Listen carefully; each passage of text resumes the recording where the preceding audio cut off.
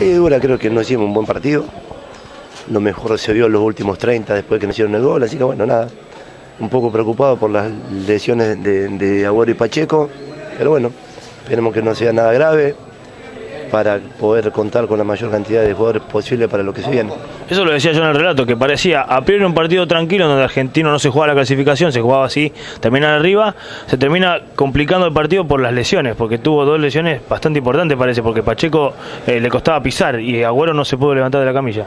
Sí, sí, bueno, ahora ya, ya le están haciendo algunas placas, así que bueno, esperemos que no sea nada grave y que lo podamos contar para lo que se viene.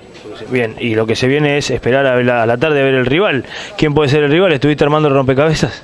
No, no, creo que cualquiera de, de- de- de los ocho equipos que, que clasifican le pueden ganar a cualquiera en cualquier cancha, así que bueno, nada.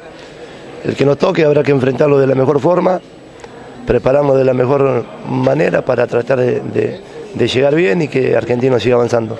¿Dónde estuvo la clave hoy de la victoria del partido? Creo que no nos desesperamos después del 1 a 0 y ahí es cuando mejor jugó el equipo. Contamos con una jerarquía importante en el plantel, así que bueno, cuando los mo- momentos apremian siempre salen los más grandes o los más experimentados a, agarrar la pelota y jugar, así que bueno. eh, creo que la victoria termina siendo justa porque no, no, las más claras fueron nuestras, dos tienen los palos, así que bueno, nada, hay que se- seguir trabajando para tratar de enfrentar al rival que nos toque de la mejor manera. Sí, eh, las más claras fueron del lado argentino, que no tenían por ahí la, la eficacia necesaria para entrar. Entró Sachi, que sigue con la racha goleadora. Sí, Román está atravesando un momento increíble. Habíamos hablado con él en la semana de cuidarlo y que jugara los últimos 20 o 25. Así que bueno, entró, sigue con el arco abierto. Así que bueno, nada, eh, feliz por él. También hay cosas positivas. Hicimos debutar a otro chico y ya creo que es el cuarto.